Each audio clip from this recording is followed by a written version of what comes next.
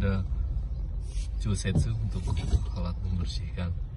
Salju itu lihat gagah banget kan. Alatnya gagah katanya. Terus kalau yang kecil yang seperti di sini itu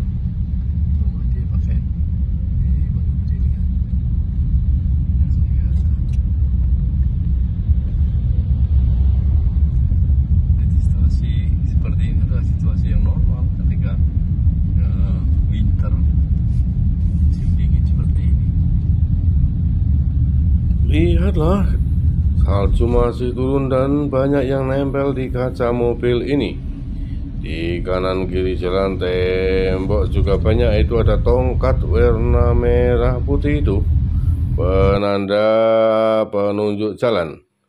Di mana ketebalan saljunya terukur dengan adanya itu warna merah dan putih stripnya tersebut.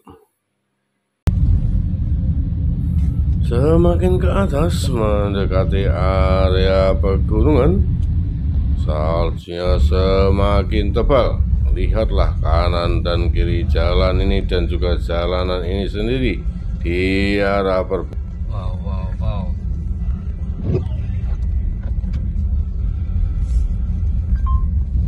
Masihkah kita berani mengatakan kisah indah seperti salju?